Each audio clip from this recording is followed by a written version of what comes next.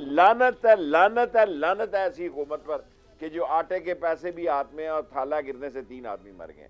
शबाज ये हुकूमत चलाना चाहता है नवाज़ शरीफ पुराने बयानिए पे जाना चाहता है।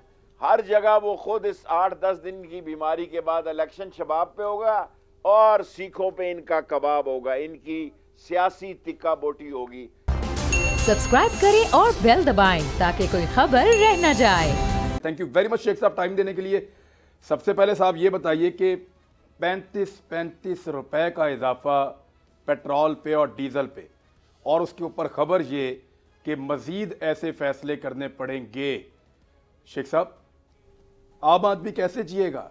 मैं सीरियसली आपको कह रहा हूँ कि महँगाई के ऊपर सियासतदान सियासत करते हैं लेकिन ये क्या है? 35 पैंतीस तोपे मारी गई। पैंतीस पैंतीस तोपों की सलामी दी गई है अभी और देनी है। इसी फरवरी में फैसला हो जाएगा कि डॉलर पहले 300 का होगा या पेट्रोल पहले 300 का होगा। गरीब आदमी मर गया मैंने ज़िंदगी में इतने दिनों से आसम मनीर साहब आए हैं, कभी रिक्वेस्ट नहीं की। पहली दफ़ा इमरान रियाज के प्रोग्राम में कह रहा हूँ कि खुदा के लिए चीफ ऑफ़ आर्मी स्टाफ साहब साहब, इलेक्शन का इनको कहें, मुल्क जल रहा है, मुल्क मर रहा है, मुल्क में तबाही है। नौ तारीख को इन्होंने गरीब को जबा खाने में फेंक देना है, लात पाँव बाँध के। जब गरीब बाहर निकलेगा तो फौज और अदारों के खिलाफ निकले नहीं निकलेगा। फौज और अदारे उसको जान से अज़ीज़ हैं। इन कम जरफों, कम अकलों, जेनी पस्ती के शिकारों, चोरों, डाकुओं मनी लॉन्डरों बेईमानों और रात के अंधेरों पर कब्जा करने वालों के खिलाफ निकलेगा और ज़रूर निकलेगा। मैंने तो सौ दिन दिए हैं, मुझे तो फरवरी भारी नज़र आ रहा है। मुझे तो फरवरी में ही कट्टी कट्टा जो है हो जाएगा गरीब जो है मर रहा है।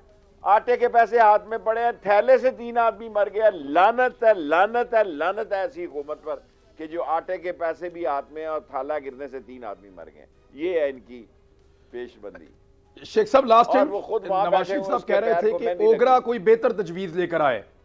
नवाज़ शरीफ साहब कह रहे थे ओगरा कोई बेहतर तजवीज लेकर आए। इस मरतबा तो ओगरा वालों को बताया खुद ही कीमत बढ़ा दी है।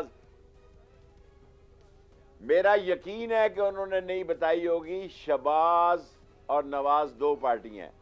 शबाज ये हुकूमत चलाना चाहता है, नवाज़ शरीफ पुराने बयानिए पे जाना चाहता है। शबाज जूतों के बल, लेट के कोनियों के बल अपने इकतदार को दवाम चाहता है, उसने अपने केस ख़त्म कराए हैं। अभी सुप्रीम कोर्ट में नैब का फैसला होना है। आज इमरान खान साहब ने फैसला कर दिया कि सारे ज़िमनी इलेक्शन वो खुद लड़ेंगे। तमाम 33 की 33 सीटों पर इमरान खान खुद कैंडिडेट होंगे। जो कैंडिडेट हैं, वो कवरिंग कैंडिडेट होंगे, लग पता जाएगा पुत्रों। हर जगह वो खुद इस आठ दस दिन की बीमारी के बाद इलेक्शन शबाब पे होगा और सीखों पे इनका कबाब होगा। इनकी सियासी तिक्का बोटी होगी। इमरान खान इस कंपेन को खुद ऐड करेगा और सूबों की असम्बलियाँ ये इलेक्शन नहीं करा रहे। मैं ओवरसीज पाकिस्तानियों के वोट के लिए सुप्रीम कोर्ट में गया हूँ, ये भी जाऊँगा। और इंशाल्लाह एक करोड़ ओवरसीज पाकिस्तानियों को वोट का हक मिलेगा, जिसमें से पचहत्तर फ़ीसद वोटर जो है वो इमरान खान का है। ये इलेक्शन से फरारी हैं, हजूर। ये इलेक्शन का मुँह नहीं करना चाहते, ये इलेक्शन का रुख नहीं करना चाहते। ये सतर वजरा कफ़ायत शारी की दुनिया में बेहतरीन मिसाल। ये खैराती मांगने जाते हैं। हैं जी? तो वो कहते हैं, यार, अपनी हालत तो ठीक करो। और इमरान रियाज साहब, आपके प्रोग्राम में एक और बात कहना चाहता हूँ। मेरी गलती हो, अल्लाह मुझे माफ़ करे। कौम आईएमएफ की शराइत देखना चाहती है। हम अपने अदारों पर कोई बात नहीं आना देना चाहते। हम अपनी खुद मुख्तारी पे कोई बात नहीं आने देना चाहते। हम अपने एहसासों पे कोई बात नहीं आना चाहते। और मुझे पूरा यकीन और उम्मीद है कि हमारी अजीम फौज इस बात पर कायम है। ये ना हो कि श्रीलंका का फ़र्स्ट शॉट यहाँ टेलर चलना शुरू हो जाए। ये तो भागेंगे, मरेंगे, जलील होंगे। वो तो अमेरिका से नहीं आएगा। एक नाश्ता जिस पर मैं भी गया हुआ हूँ। मुराद अली शाह भी उस पर बैठा हुआ है। हराम है।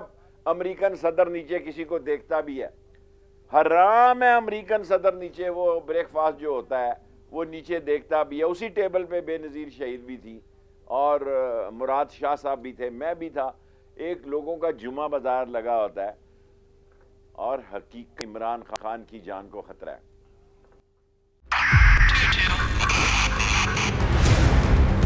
2022 और फिर से भी देखे गया पाकिस्तान की आवाम को।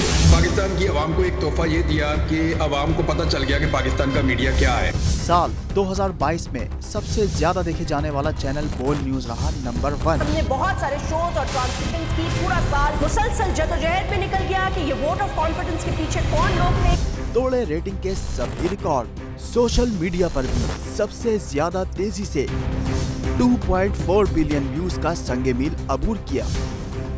एंकर्स को भी आवाम में सबसे ज़्यादा मकबूलियत मिली और सोशल मीडिया पर भी बोल रहा सब पर भारी। सब्सक्राइब करें और बेल दबाएँ ताकि कोई खबर रह न जाए।